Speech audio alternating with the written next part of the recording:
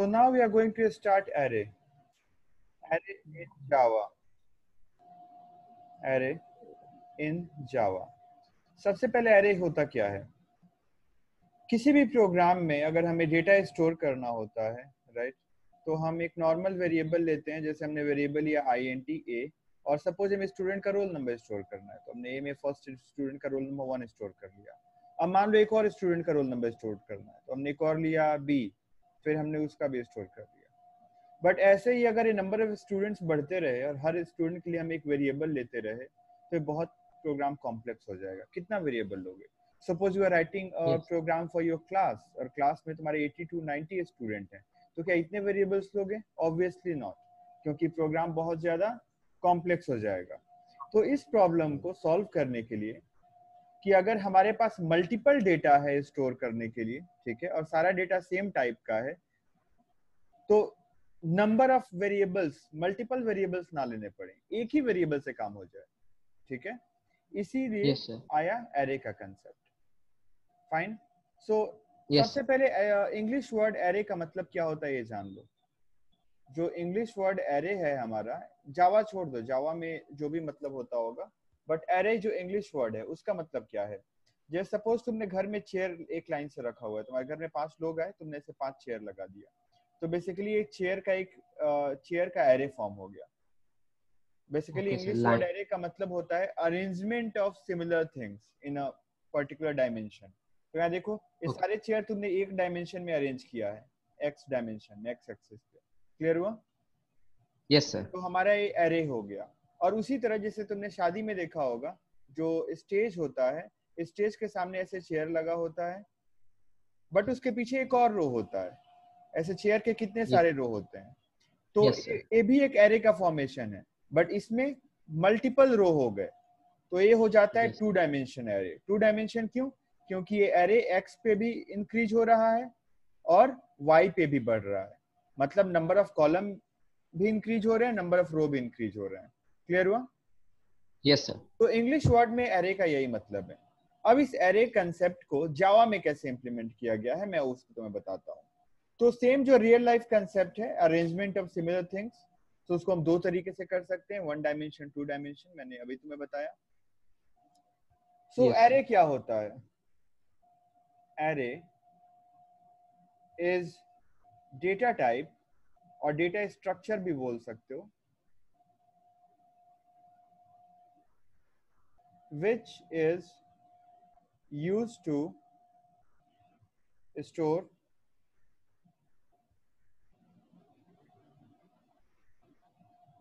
multiple data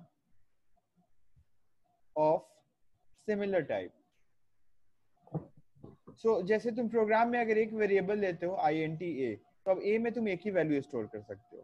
but वही अगर तुम एक एरे लोगे तो एक ए, एक एरे में तुम कितने भी वैल्यू स्टोर कर सकते हो? पाँच दस सौ हज़ार कितने भी। ठीक है? Yes, तो अभी हम वो देखेंगे एरे हम कैसे बनाएँगे वो तो अभी हम प्रोग्राम में देखेंगे। बट एरे का मतलब क्लियर हो जाना चाहिए कि एरे एक ऐसा डेटा स्ट्रक्चर है। डेटा स्ट्रक्चर क्या होता है? जो अपने अंदर डेटा को एक प्रॉपर तरीके एक डेटा को स्ट्रक्चर करने का तरीका बस डेटा के स्ट्रक्चर का यही मतलब है। जैसे ये देखो चेयर हम एक लाइन से रख रहे हैं ऐसे। तो बेसिकली चेयर को अगर तुम डेटा मान लो तो एक ये जो रखने का तरीका है इसी को हम एरे बोलते हैं। यानी क्या है? डेटा को रखने का एक स्ट्रक्चर चेयर अगर डेटा है तो yes. तो इसको रखने का एक स्ट्रक्चर है तरीका है। बस उसी को एरे बोलते हैं ठीक है? बस हम प्रोग्राम में चेयर नहीं होगा उसकी जगह डेटा होगा। भाई हम वो सब हम लोग देखेंगे। तो डेटा स्ट्रक्चर yes. का मतलब डेटा को रखने का तरीका। तो एरे क्या है? डेटा को अरेंज करने का एक तरीका।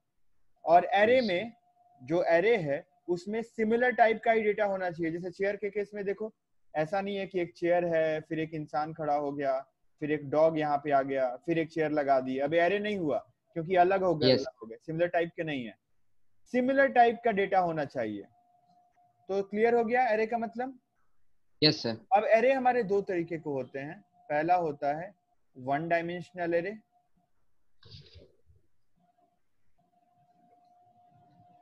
one dimensional array अभी मैंने बताया जैसे चेयर है, ऐसे एक लाइन में लगा हुआ है। तो ये चेयर देखो नंबर ऑफ़ चेयर सिर्फ़ एक एक्सिस पे इंक्रीज कर रहा है ना, एक डायरेक्शन में।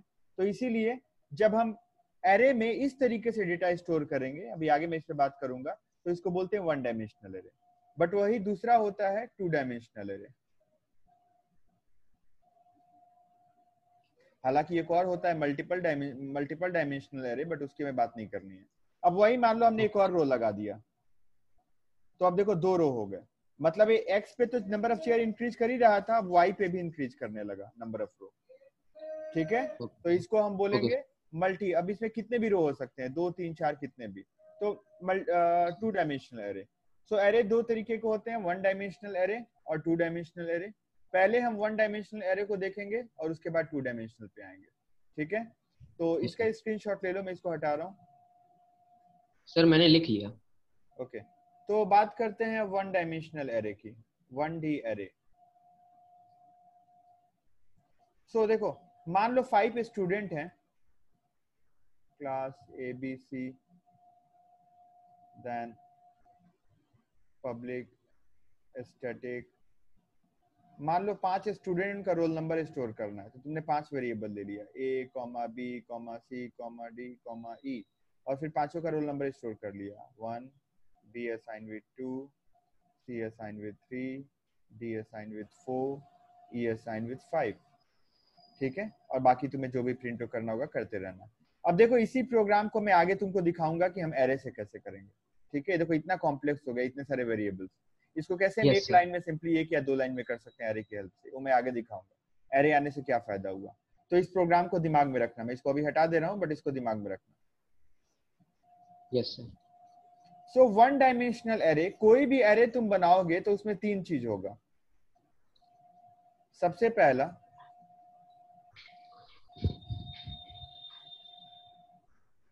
पहला step declaration of array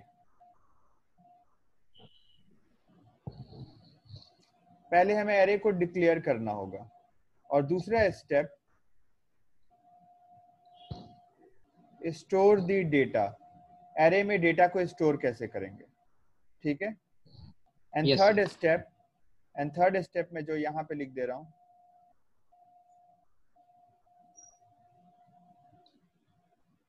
How to access data data को एक्सेस कैसे करेंगे?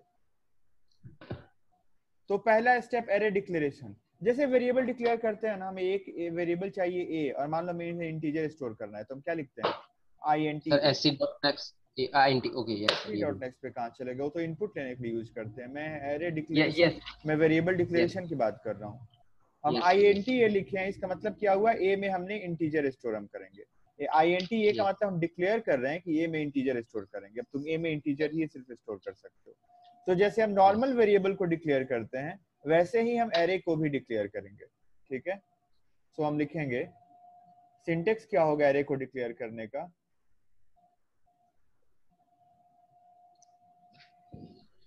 अपना माइक बंद कर लो जब बोलना होगा सिर्फ़ तभी ऑन करना। सो so, एरे को डिक्लेयर करने का सिंटेक्स क्या होगा? हम लिखेंगे डेटा टाइप मतलब जिस टाइप का एरे चाहिए। अगर इंटीजर टाइप का चाहिए तो डेटा टाइप आई हो जाएगा। फिर एरे नेम और उसके बाद स्क्वायर ब्रैकेट ओपन क्लोज बस। जैसे एग्जांपल मान लो हमें एक एरे चाहिए जिसमें स्टूडेंट का रोल नंबर स्टोर करना है। तो रोल नंबर इंटीजर होता है तो डेटा टाइप आई हो जाएगा। एरे नेम हम रोल नम दे लेते हैं roll num num can upper case में कर दो। बेसिकली जब भी दो वर्ड मिला के कोई नाम बनाते हैं तो दूसरे वर्ड का पहला लेटर हम अपर केस में कर देते हैं ताकि समझ में आए कि दो अलग अलग वर्ड है स्पेस नहीं होना चाहिए। Okay. तो रोल नम और उसके बाद स्क्वायर ब्रैकेट ओपन क्लोज ये हमारा एरे हमने डिक्लेयर कर दिया पहला स्टेप दूसरा स्टेप स्टोर द डेटा मतलब एरे में डेटा को स्टोर कैसे करेंगे? तो अगेन इसका सिंटेक्स देख लो। डेटा स्टोर करने का सिंटेक्स होता है। Array name assign with curly braces में जो भी वैल्यू है value one comma value two comma value three comma dot dot dot dot N तक, जितने भी वैल्यू हैं। ठीक है? तो अब एग्जांपल लेते हैं। मान लो पाँच स्टूडेंट का जो रोल रोल नंबर है, वो क्या है तुम्हारा? कुछ ऐसा है। Ten eleven twelve thirteen fourteen. यही रोल नंबर स्टोर करना है। तो देखो सिंटेक्स क्या है? सबसे पहले एरे नेम तो एरे नेम क्या है? ऊपर हमें डिक्लेयर किया है ना roll num roll num yes. Roll num assign with अब वैल्यू वन क्या है? टेन वैल्यू टू क्या है? इलेवन वैल्यू थ्री क्या है? Twelve value four thirteen value five fifteen curly braces close ये हमारा एरे हमने डेटा स्टोर कर दिया। इतना समझ में आया? यस yes, सर अच्छा अब देखो इसको एरे हम क्यों बोलते हैं? तुम्हें पता है जब कंप्यूटर में हम जो भी काम करते हैं वो कहाँ पे होता है? कंप्यूटर की मेमोरी पे होता है राइट तो कंप्यूटर जैसे ही इस लाइन को रीड करेगा एक्चुअली कंप्यूटर की मेमोरी पे क्या होगा? जैसे ये वाला पार्ट मान लो मेमोरी है। टोटल कितने एलिमेंट हैं? Five one two three four five तो कंप्यूटर क्या करेगा? रैम पे जाएगा कंप्यूटर की रैम पे जहाँ पे सारा एग्जीक्यूशन होता है और एक लाइन से पाँच लोकेशन क्रिएट कर देगा। ठीक है? अरे पाँचों इंटीजर टाइप के होंगे। जैसे देखो. नॉर्मली तुम वेरिएबल अगर एक डिक्लेयर करते हो आई एन टी ए तो कंप्यूटर करता क्या है? एक स्पेस एलोकेट कर देता है आई एन टी टाइप का। आई एन टी टाइप का मतलब क्या हुआ? आई एन टी का विथ होता है four byte four byte unit है मेमोरी की। मतलब कि अगर Yes, कोई भी वेरिएबल इंटीजर टाइप का है तो रैम पे उसको फोर बाइट जगह मिलता है, ठीक है? और फिर कंप्यूटर क्या करता है? ए में इस लोकेशन का एड्रेस स्टोर कर देता है, ठीक? अब तुम जब ए में कोई भी वैल्यू, मान लो तुमने अब ए में टेन स्टोर किया तो टेन जाके यहाँ पे स्टोर हो जाता है, बाइनरी के फॉर्म में। इस तरीके से काम होता है। तो अब यहाँ पे क्या हो रहा है? जब हम, ध्यान से समझना जब कंप्यूटर, मान लो प्रोग्राम में तुमने जब लिखा है पहला स्टेप यही होगा ना एरे डिक्लेयर करना। तो कंप्यूटर क्या करेगा? एक लोकेशन स्पेस लोकेट कर देगा, जिसका नाम रख देगा रोल नंबर फिर अगले स्टेप में देखो हमने क्या किया है। हमने एरे क्रिएट किया है। एरे में पाँच एलिमेंट हैं तो कंप्यूटर काउंट करके कितना है? One two three four five और यहाँ पे जाके पाँच लोकेशन जनरेट कर देगा रैम पे। और ये पाँचों किस टाइप के होंगे? इंटीजर टाइप के। मतलब हर लोकेशन फोर बाइट का होगा ठीक है? यानी ये Yes, मतलब बैक बैकग्राउंड में मेमोरी पे देखो तो पाँच डिक्लेयर वेरिएबल डिक्लेयर करोगे जो प्रोग्राम में जो काम होगा एरे में भी वही हो रहा है बैकग्राउंड में ठीक है? बट हमारी कॉम्प्लेक्सिटी प्रोग्राम में इजी हो जा रहा है करने में। और फिर कंप्यूटर पाँच लोकेशन जनरेट करने के बाद क्या करेगा? उन सबको इंडेक्स दे देगा। उनका एक इंडेक्स मतलब किस पोजीशन पे है वो? तो पहले वाले का इंडेक्स होगा ज़ीरो फिर वन फिर टू फिर थ्री फिर फोर और फिर सारे एलिमेंट को लाके स्टोर कर देगा। जो पहला टेन है यहाँ पे उसको लाके ज़ीरो इंडेक्स पे स्टोर करेगा। फिर वन पे क्या स्टोर करेगा?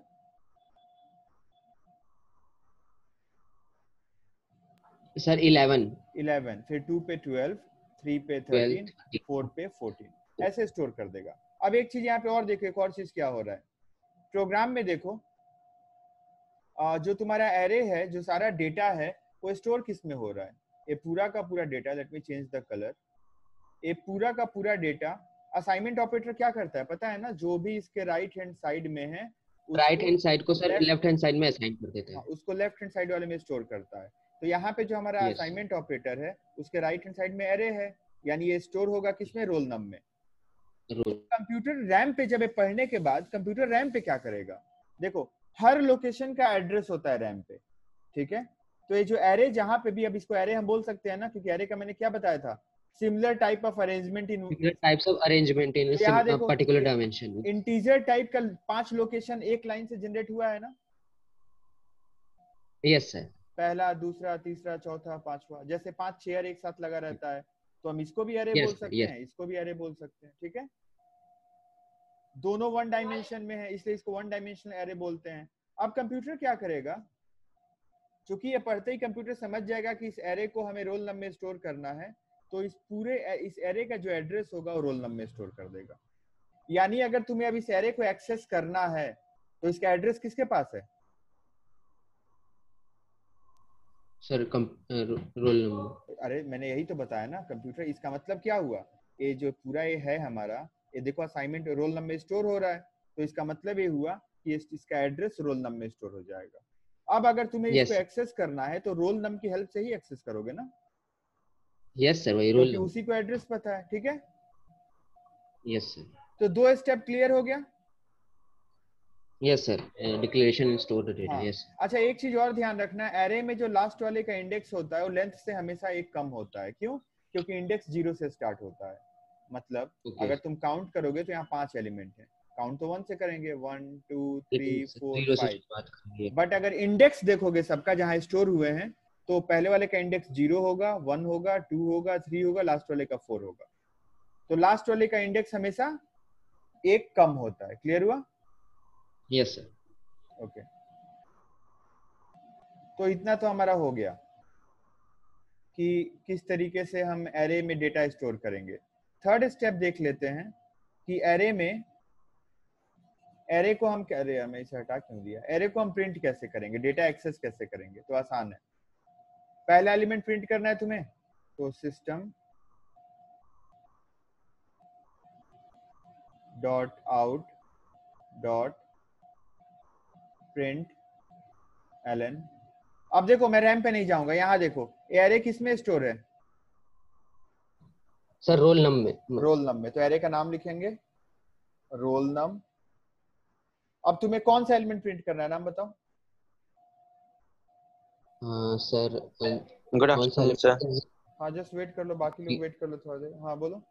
Zero sir zero zero array element का नाम बताओ ना कौन सा प्रिंट करना है। टेन टेन तो. टेन का इंडेक्स क्या होगा? ज़ीरो तो यहाँ पे लिख दो रोल नम में स्क्वायर ब्रैकेट में ज़ीरो टेन प्रिंट कर देगा। मान लो फिर से हमने यूज़ किया। System dot out dot println. अब मान लो हमें थर्टीन प्रिंट करना है तो क्या लिखेंगे बताओ?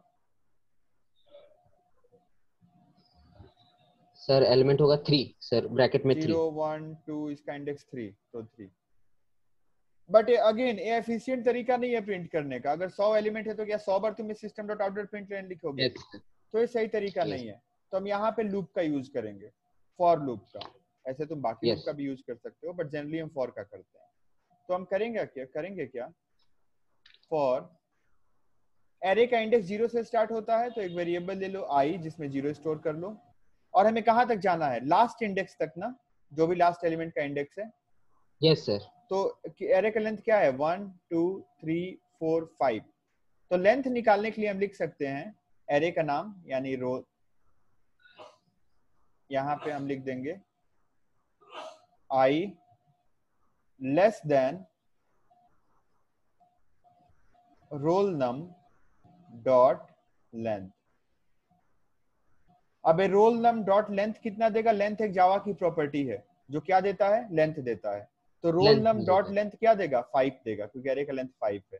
और हमने लिखा है आई लेस देन फाइव तो मतलब आई की वैल्यू जब ज़ीरो होगी तो zero less than five condition true होगा। जब आई का वैल्यू वन तो होगा तो one less than five true होगा टू के लिए ट्रू होगा थ्री के लिए ट्रू होगा फोर के लिए ट्रू होगा। बट जब फाइव होगा तो five less than five false हो जाएगा। हमें तो फोर तक ही जाना है ना क्योंकि लास्ट इंडेक्स फोर है। यस ओके यस सर फिर। तो अभी I देखो ये नहीं समझ में आएगा तो अभी समझ में आ जाएगा। अब आई की वैल्यू हर बार एक एक हम बढ़ाएँगे। तो आई प्लस प्लस और फिर फॉर में लिख देंगे system dot out dot println और यहाँ पे रोल नम एरे का नाम और यहाँ पे आई लिख देंगे। हो गया। अब देखो क्या होगा। आई की वैल्यू ज़ीरो इसके बाद कंप्यूटर कहाँ जाएगा? कंडीशन पे? पता है ना इनिशियलाइजेशन के बाद कंडीशन पे जाता है। तो कंडीशन sir. चेक करेगा। I less than roll num dot length तो आई में ज़ीरो है। Less than roll num dot length तो रोल नम डॉट लेंथ कितना होगा? Five zero less than five condition true है। कंप्यूटर फॉर के अंदर आएगा। System dot out dot print roll num I I में अभी कितना है? ज़ीरो है। तो रोल नम ज़ीरो पे कौन सा एलिमेंट है? टेन टेन प्रिंट तो टेन प्रिंट होगा। इसके बाद. कंप्यूटर फिर अपडेशन पे जाएगा आई प्लस प्लस तो आई की वैल्यू कितनी हो जाएगी? सर वन हो जाएगी। वन हो जाएगी। और फिर कंडीशन पे आएगा इसके बाद। तो आई में अब वन है। तो वन लेस देन फाइव अभी भी कंडीशन ट्रू है फिर अंदर आएगा। फिर role num I but I में इस बार वन है। तो क्या प्रिंट करेगा? 11 इलेवन सर नीचे प्रिंट करेगा क्योंकि एलन है। यस हाँ एलन है इससे नीचे प्रिंट करेगा। उसके लिए उसके बाद कंप्यूटर कहाँ जाएगा? फिर से अपडेशन पे जाएगा आई प्लस प्लस पे। एक मिनट रुक जाओ इसके बाद कंप्यूटर प्रिंट करने के बाद फिर से जाएगा आई प्लस प्लस पे। तो आई की वैल्यू क्या हो जाएगी अब? टू हो जाएगी सर टू फिर कंडीशन पे जाएगा। तो अब आई में टू है लेस देन फाइव कंडीशन फिर ट्रू फिर अंदर यस आएगा। रोल Yes, sir, आई तो अब आई में टू है तो कितना प्रिंट करेगा? ट्वेल्व ट्वेल्व फिर उसी तरह फिर थर्टीन फिर 14, थर्टीन फोर्टीन और उसके बाद जब आई की वैल्यू फाइव होगी जब आई की वैल्यू फाइव होगी और कंडीशन पे आएगा तो five less than five condition false बाहर निकल जाएगा। आया समझ में? यस सर तो अगर इस पूरे प्रोग्राम को मुझे लिखना हो एक साथ तो क्लास ए बी सी ये प्रोग्राम किस चीज़ का है? फाइव स्टूडेंट का रोल नंबर स्टोर करना है। उनका रोल नंबर क्या है? रोल नंबर है ten eleven twelve thirteen fourteen ये रोल नंबर स्टोर करना है और प्रिंट करना है। एक तरीका Yes, है पाँच वेरिएबल ले लो जो अभी मैंने शुरू में प्रोग्राम लिख के दिखाया था। बोला था इसको याद यस रखना। और दूसरा तरीका क्या है? ये पहले मेथड बना लो पब्लिक स्टैटिक void में लिख लेना है सब। अब एक एरे की, पहले एरे डिक्लेयर करेंगे तो int एरे का नाम ले लो roll num square bracket open close पहला हमारा स्टेप डिक्लेरेशन हो गया, फिर डेटा स्टोर करेंगे सो रोल नम अब इस बार रोल नम के साथ स्क्वायर ब्रैकेट नहीं रहेगा। करली ब्रेसेस में 10 11 12 13 14 अब मैंने बताया था क्या क्या होगा कंप्यूटर इस लाइन को पढ़ेगा तो रैम पे क्या होगा मैंने बताया था इस लाइन को सर स्पेस बनाएगा सर हाँ, एक लाइन में। सब में डिटेल में जाने की हाँ। ज़रूरत नहीं है अब यही देख के समझ जाओ ठीक है?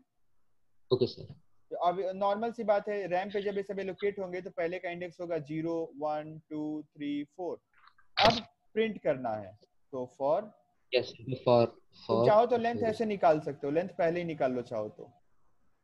पहले इन द सेंस यहाँ पे एक वेरिएबल ले लो। आई एन टी एल और यहाँ पे roll num dot length L N G T S sorry ये रोल नम डॉट लेंथ क्या करेगा? जो भी लेंथ होगा इस एरे का फाइव है ना एल में स्टोर कर देगा ठीक है? अब तुम्हें प्रिंट करना है तो सिंपल है। For I N T I assign with zero क्योंकि एरे का इंडेक्स ज़ीरो से स्टार्ट होता है।